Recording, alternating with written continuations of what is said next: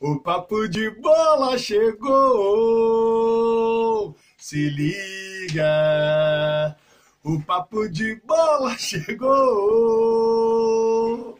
Para animar a festa. Salve, salve, produção! Fala rapaziada, fala galera ligada no canal Papo de Bola, esse papo bacana de futebol. Inscreva-se no canal, dê um like e ative o sininho para receber as nossas notificações. Vou deixando aquele abraço aí para Maria José, hein? Maria José, que gosta da nossa musiquinha. Deixando um abraço também pro Paulo Loucos, comandante da Juventus São Francisco que ganhou do Borussia. A gente vai falar mais pra frente sobre esse jogo na Copa Sintro. Um abraço também pro Léo, Léo L7. Alô, galera de Humaitá que curte o nosso canal, galera de Valadares também que curte o nosso canal Papo de Bola. Todo mundo curtindo e, lógico, gosta muito da musiquinha.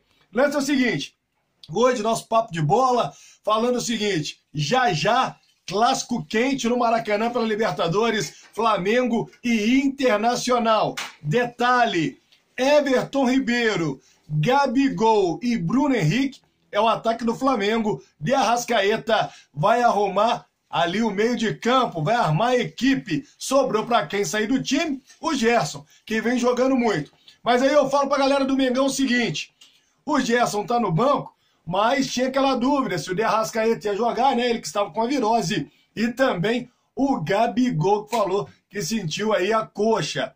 Vamos ver, o Flamengo pode ter aí duas alterações ainda no primeiro tempo. Vamos ver o que está esperando o Jorge Jesus. Por isso que eu acho que ele preservou o Gerson no banco. Mas vai ser um jogão, hein? Jogão imperdível, Flamengo Internacional, Edenilson também que era dúvida no Inter, vai pro jogo, Guerreiro enfrentando o Flamengo aí, fase decisiva de Libertadores, tudo para ser um grande jogo esse Flamengo Internacional. Vamos falar um pouquinho agora da Copa Sintro, domingo aconteceu o jogo lá no campo do Seste Senat. Alô, Emanuel, aquele abraço, um dos grandes organizadores da competição e também lá do CS Senat. Rolou lá no campo do CS Senat, jogão de bola, Juventus e Ação São Francisco 4, Borussia Tusmil 1. Parecia até o Flamengo, Juventus e São Francisco contra o Vasco, hein? Os gols aí marcados pelo Taíque, né? Marcou dois gols, foi o artilheiro da partida. O Kennedy também deixou dele e o Matheus, pequeno aprendiz, fez um gol. E o Léo L7, alô L7, aquele abraço para você, do Borussia Tusmil, fez o gol de honra quatro para Juventus e Ação São Francisco, um para o Borussia Tusmil. Agora eu vou falar do Galinho, Galinho no Sub-20, Campeonato Mineiro Sub-20. Vai começar o mata-mata, hein? Galinho perdeu para o Betis de 2 a 0, perdeu na hora que podia perder, e agora a chapa é quente. Alô, Wesley Assis, treinador do Tupi Futebol Clube no Sub-20. Aquele abraço para você e boa sorte, meu querido. Olha, o Tupi vai jogar com o Coimbra, primeiro jogo, lá no centro de treinamento do Coimbra, produção. Lá, ó, o couro vai comer, mas a equipe está bem preparada aí pelo Wesley Assis. O segundo jogo, Estádio Municipal no outro sábado. Vamos lá, torcida Carijó, apoiar o Galinho no Sub-20, que tá fazendo bonito. Aí, a equipe do professor Wesley Assis, tem o Patrick, tem o Cleitinho, tem o David no gol. Um abraço para todo mundo aí, boa sorte pra galera Carijó. Recadinho para você que curte o nosso canal.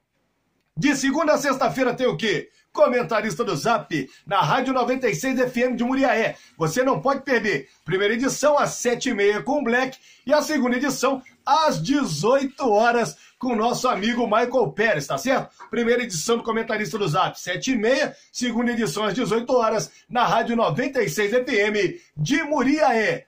Olha, meus amigos, e olha, minha amiga, lance é o seguinte, hein? Inscreva-se no canal, dê um like e ative o sininho para receber as nossas notificações. E não é só notificação que você recebe, você recebe isso aqui também, ó. Se liga! O papo de bola chegou! Alô, pai da Vitória, um abraço para você, hein? Vai ficando mais um programa, mais um canal Papo de Bola esse papo bacana de futebol. Valeu, galera!